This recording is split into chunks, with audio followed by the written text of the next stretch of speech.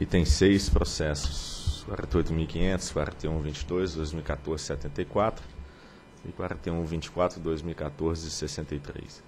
Pedido de reconsideração interposto pela Enel Soluções Energéticas Limitada, em face do despacho 109 de 2005, que indeferiu a solicitação de outorga de autorização formulada pela Enel Brasil Participações Limitada para implantação e exploração das centrais geradoras solares fotovoltaicas Fonte Solar 1 e 2 como produtoras independentes de energia por se tratar de empreendimentos de capacidade reduzida. Diretor relator, Dr. José Jurosa.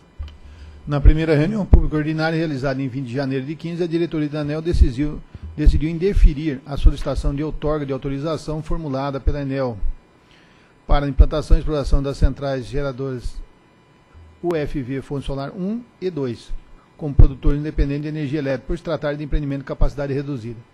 Tal decisão constou do despacho 109 da mesma data, qual foi publicado no Diário Oficial em 27 de janeiro de 15. Conformado com a, de, com a referida decisão, a Enel interpôs pedido de reconsideração em 29 de janeiro, reiterando em síntese que a ausência do ato autorizativo anterior à implantação da usina com capacidade reduzida é impeditivo para alguns processos, a saber, licença ambiental, rede, cálculo de garantia física, processo de cadastro e adesão à CCE. Em 9 de fevereiro de 15, o processo foi a mim distribuído por sorteio. É o relatório. Procuradoria. Trata-se aqui de pedido de reconsideração, que essencialmente a discussão é de se conferir uma outorga no, na modalidade de autorização para empreendimentos que, de capacidade reduzida que seriam objeto de, de registro.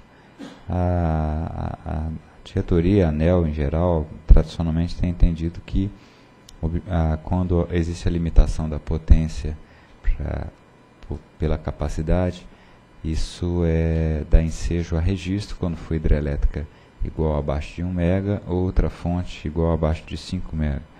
Procuradoria, revendo até esse entendimento, é, no parecer 125 de 2014, em relação a, a leilões na, no sistema isolado, entendeu que, pelo fato de ser dispensado o, o registro, é possível que, havendo uma comunhão de interesse entre o outorgado e o poder concedente, seria possível excepcionalmente se fazer a, a outorga por autorização, porque ali seria o resultante do leilão. Não é o que ocorre aqui nessa, nessa situação, o interesse aqui exclusivamente do, do, do interessado. Então, portanto, não vê aqui a Procuradoria razão para se dar provimento ao, ao pedido de reconsideração. O pedido de reconsideração da Enel foi interposto tempestivamente, portanto deve ser conhecido para a sua análise do mérito. A construção das centrais geradoras solares fonte solar 1 e 2, com 5 megawatts de potência instalada cada uma, decorreu do leilão de contratação de energia para atender as empresas enquadradas no programa de incentivos fiscais e financeiros do governo do estado de Pernambuco. No voto proferido pelo diretor André Peptoni, que foi acompanhado pelos demais diretores presentes, foi ressaltado que, nessa situação, o contrato celebrado é caracterizado como bilateral e de interesse restrito daquele Estado. Destacou também que o certame organizado pelo governo de Pernambuco foi tão e somente a forma escolhida pelo contratante para escolher o melhor preço, o que não caracteriza a comunhão de interesse entre o particular e o poder concedente, citado no parecer 125 da PGE, lavrado pela Procuradoria-Geral da ANEL. No referido voto, foi salientado ainda que, se essa energia fosse comercializada no leilão de energia de reserva de 14, por exemplo, as solicitações de outorga para essas, para essas usinas seguiriam o seu curso normal por entender entendida, atendida a comunhão de interesse entre o particular e o poder concedente.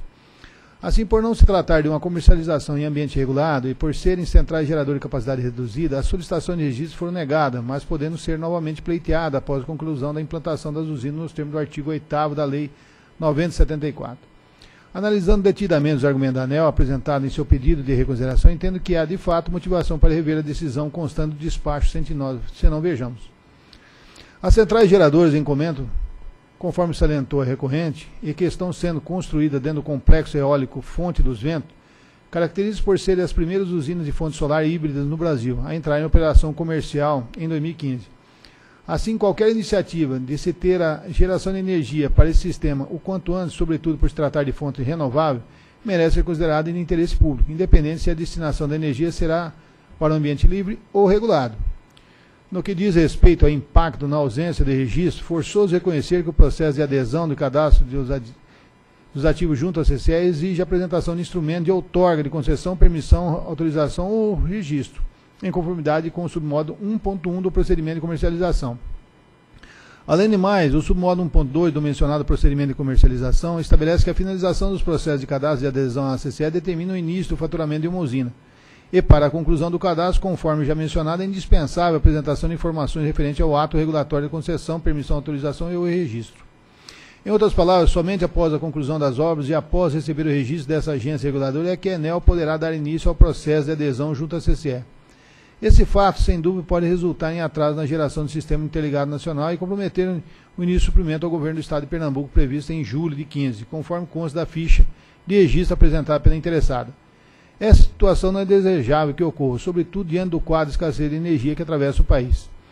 Diante desse contexto, não vislumbra óbvio para que a ANEL registre a usina de forma a permitir as providências junto à CCE seja iniciado com posterior comprovação de que a, é, a implementação foi efetivada. Ou seja, a gente é, fazer uma pequena adequação no nosso sistema, é, que já é informatizado, colocando lá uma, uma, uma, possibilidade de ele fazer o registro como em construção e após a, a, o seu, seu término ele faz uma, uma nova é, entrada ao sistema e e coloca concluído. Então ele receberia um registro que está em conclusão ou em construção e depois ele teria um para obter a LO no caso que ele vai precisar disso ele, ele aí ele faria realmente o, o registro definitivo. É, é muito em função que ele quer se tornar um agente e na maioria dos outros casos que é, esses é, empreendedores de CGH que agora é até 3 mega e, e de térmica, eles não são agentes, eles, eles trabalham basicamente como, como é, contratos bilaterais e no ambiente livre. Então eles não precisam de, alguma, de algumas informações adicionais anteriores, né, ou, é, para que possa ser é, reconhecido como agente.